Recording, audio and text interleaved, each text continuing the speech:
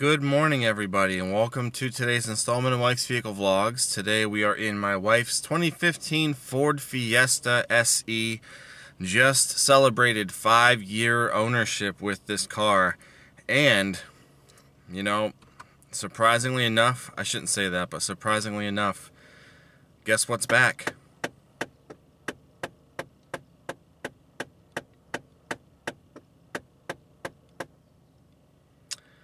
Yep, another failed climate control door actuator.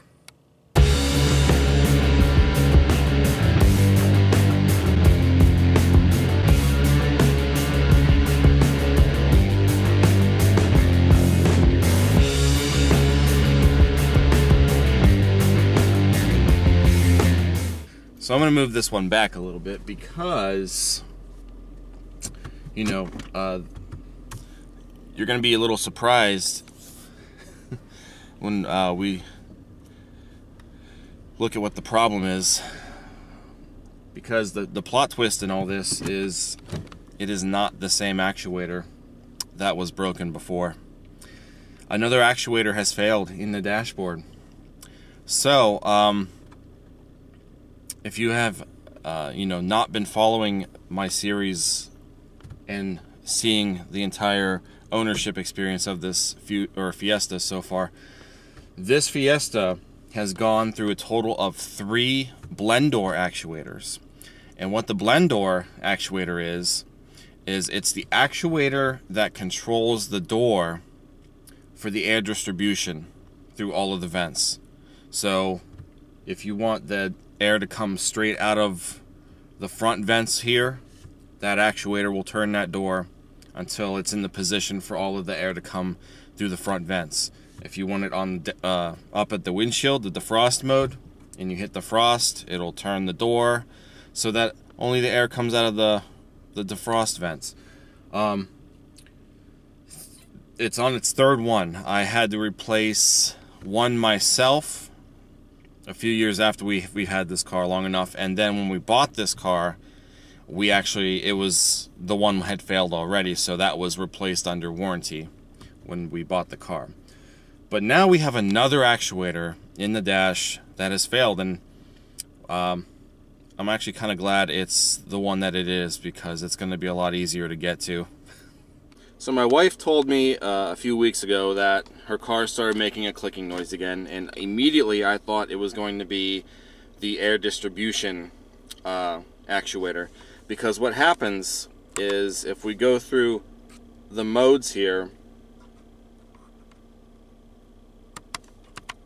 oops I don't want that. I can hear the actuator changing. So this one's still good but every time that we got to the front vents just the front vents like this it would start clicking like that obnoxiously. So when I came out here to look at it that was not the one that has failed the one that has failed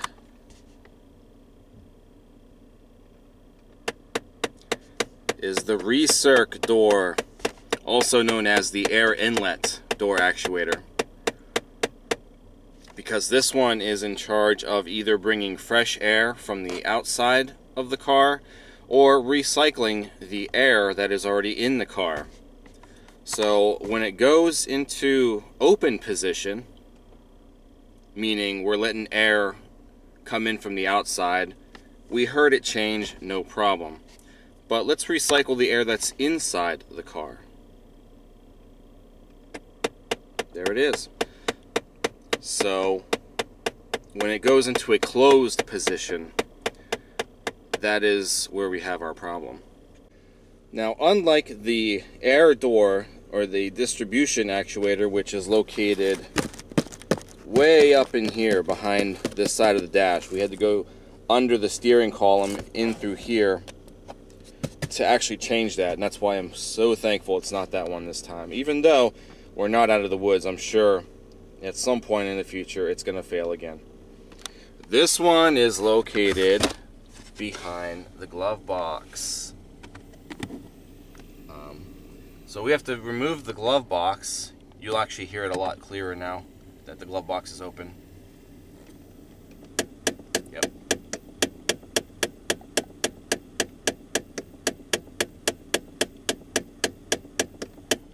So we need to remove the glove box and it's going to be directly behind that. Also, this whole repair shouldn't take that long. So with the glove box open, you're gonna see that there's this little rubber bump stop here there's another bump stop here. So what we gotta do now is squeeze the sides of the glove box. And that's gonna drop the glove box down. Alright, so with the glove box down, it's right there. That is it. So it is really right there. And there's the, the vent right there. So you can see it's in the open position at this end, which, which means it's recycling all of the air from inside the car. If I hit the button to get it to go bring air in from the outside, you've seen that door just shut. So let's open it back up.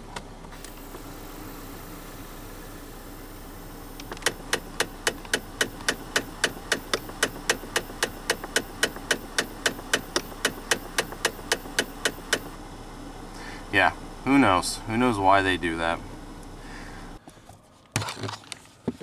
Alright, so the first thing we're going to do is we need to unplug it so it's got a red lock on it. So pull the red lock out. Oh, well, I pulled it a little too much. um, that's okay, just don't lose it. So put it down. And then we can squeeze the tab and unplug said connector. Try to tuck it somewhere so it's not in the way. And then there are two Torx head screws, one there and one up there. They kind of uh, they're kind of across from each other diagonally. And I do believe that should be a T20. So yeah, focus.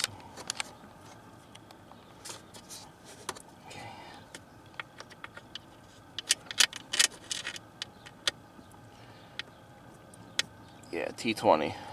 So now I gotta hope that I can get my ratchet through there and we can loosen that up. Alright, so I decided to remove the entire glove box. It's actually gonna be easier. It just pulls out of uh, the little openings there. That makes it a lot easier. Whoops. It was kind of tough, but it's uh, it comes out. Oh yeah, this makes it so much easier to do. Oh yeah. Definitely easier than the other actuator. Is it loose enough yet? No. Yep, see, there it goes.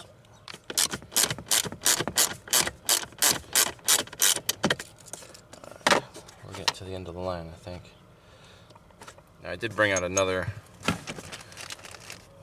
socket. It's for the three quarter inch, but it's got a thicker end on it, so there we go. I can use it as a screwdriver. Alright, so there's one. Yay. The other one, a little further back. I could probably actually use this bigger ratchet on there, since there's more room back there. Okay, it's working.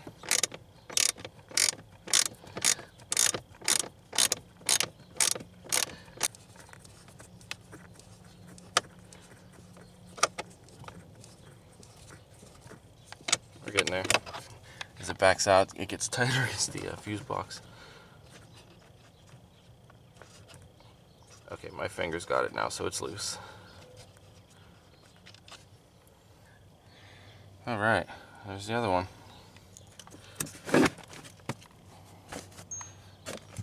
So now,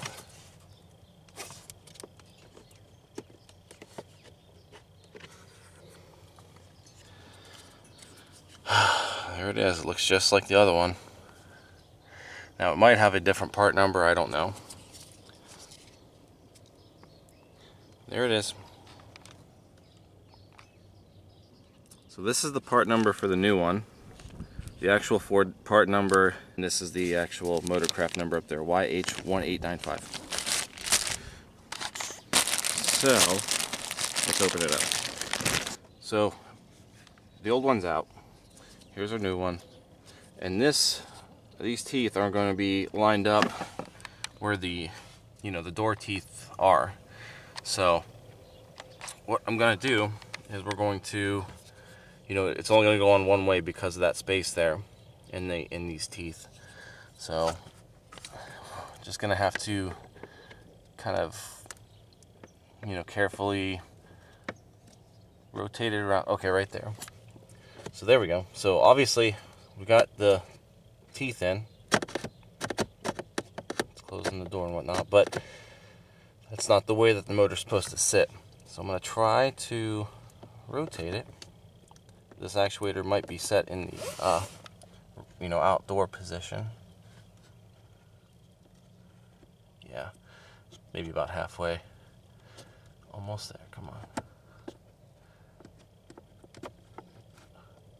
Yeah, there we go. All right. And then lining up with the dowels. And that should be it. So the actuator is kind of set, looks like in the halfway point between fully open and fully closed. So now that that's in there, um, we'll go ahead and put our screws in.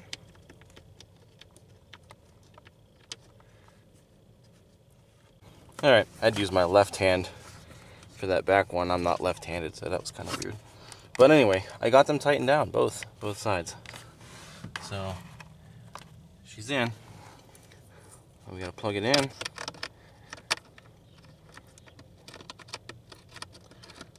Other way, I think. No, that's the right way. There we go. And the little red lock.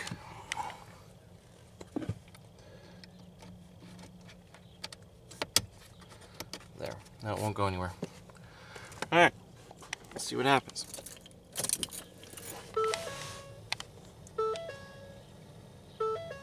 So, it's in recirc, but it looks like the door closed on me. No, it didn't move at all. Alright. So let's hit a button. Oh, it's opening. Here we go. Here we go. Okay. Let's go to outside mode.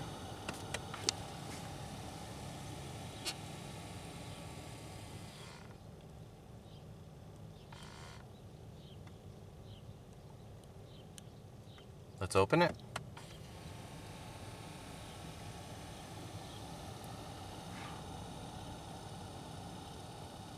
Let's close it.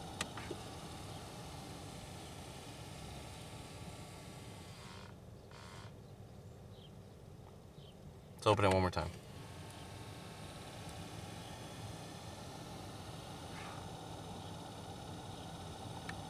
Done deal. Done deal. Okay, so the best way to get the glove box back on the hinges is to actually have it sitting past the bumpers like this. And then kind of wedging it in there. And then obviously once the bumpers are in place, that's the end of that. So then you just put all your stuff back in the glove box and you call it a day.